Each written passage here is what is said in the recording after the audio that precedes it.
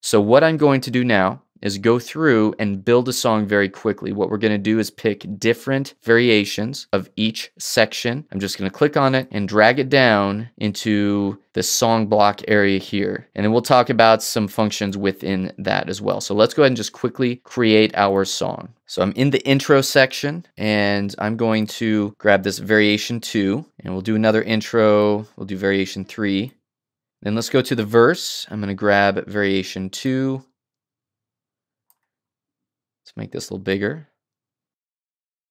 And we'll go into the chorus. So I'm going to skip down to chorus and I'll just grab the first variation of the chorus here. And notice as I'm doing this, we have different color coded blocks. So visually you can see what section you're dealing with. I'm going to go back to the verse. I'm going to use this third variation. So we have something a little bit different. Again, we'll keep the same length of the verse. We'll go into the chorus again. I'll use the same variation I used before, which is variation one. Now we're going to jump into the bridge. I like this variation four. So I'm actually going to start with that. You don't have to go in the order of the variations. You can really do whatever you want. So we'll go ahead and grab variation two. This is for the bridge. And then let's jump down to variation four. And finally, let's do a third chorus. And I'm going to use variation three. So we'll change the chorus a bit. And we're going to do an outro, but I'm actually going to use a verse variation. We'll use this variation three, and then we'll go back to an intro. So there's really no rules here. In my mind, I know that these last two blocks are going to be more of an outro, even though I'm using a verse block for one of those variations. It's really up to you. Now I'll jump around the song. Let's just take a listen to what we have so far. And one thing I noticed as well, I want to make sure we change the time signature to 6-8. So that way the measure markers will match.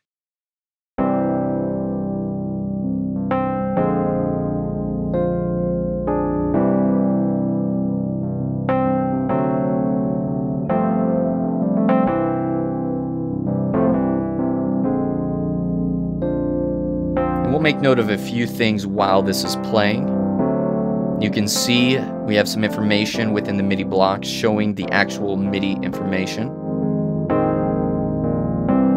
And in EZKeys, we also have these chords. So it has an intelligent system to actually display the chords from these MIDI packs, so from the MIDI blocks that you load in. Now we can actually make some changes, we'll talk about that in a moment, but it's really nice as you can see all of the chord changes.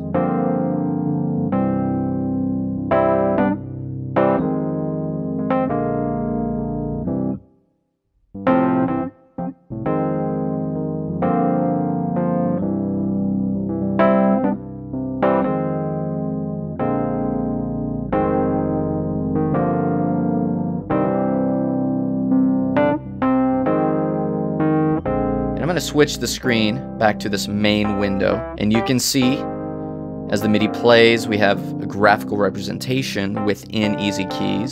So you can actually visually see the notes being played.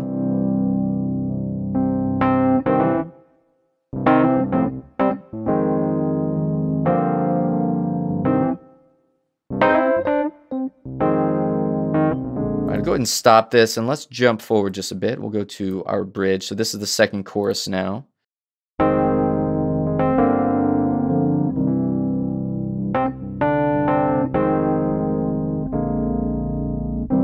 So here's our bridge.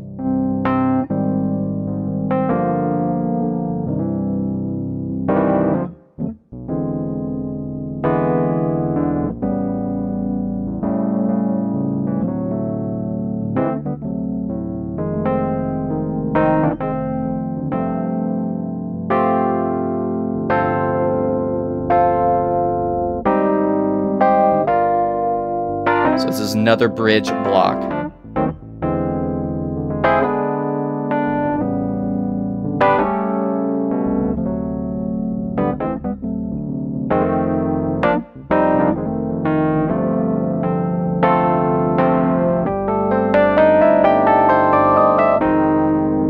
And our final chorus.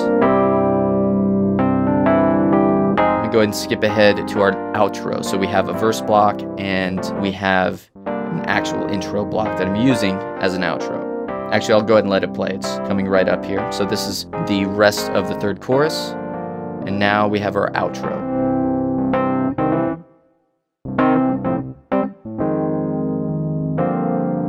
So this is a verse block, but it works well as an outro because it takes you back to that original melody that we had at the very beginning.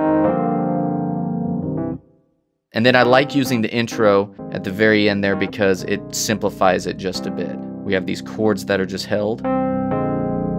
It's less busy, so it works well to kind of wind down the song.